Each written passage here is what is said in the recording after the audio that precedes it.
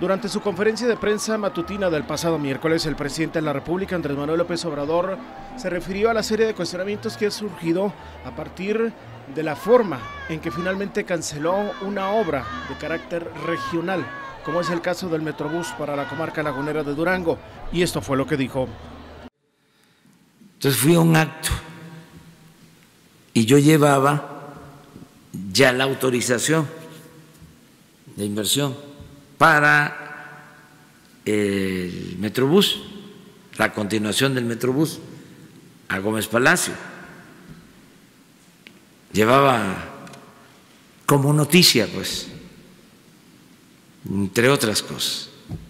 Llego y desde que me bajo de la camioneta empiezan las manifestaciones. No, no al Metrobús no al Metrobús, no al Metrobús. Y es que según el presidente de la República ya estaba prácticamente todo hecho para anunciar finalmente esta inversión, pero dijo que ante las protestas que él considera que no fueron manipuladas, finalmente se consultó a lo que llama una asamblea y esos fueron los resultados.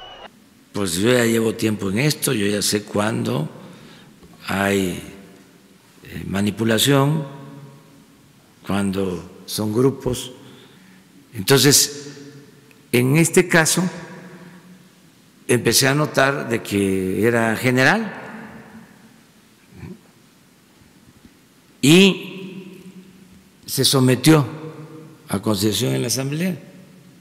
Se cuestiona mucho esto, pero ¿cómo vamos a llevar a cabo una obra que no quiere la gente?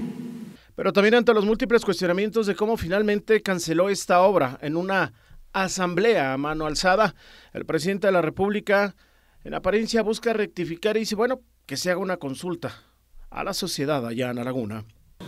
Se podría este, eh, hacer la consulta eh, formal, pero no con el INE, con todo respeto, porque si no eh, va a costar más que el Metrobús este, no, no, que la gente se organice y que voten un domingo, sí o no.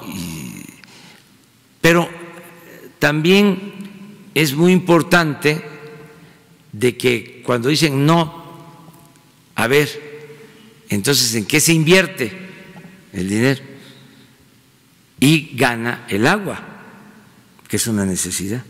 Esto fue lo expresado en el marco de su conferencia de prensa por parte del presidente de la República, Andrés Manuel López Obrador.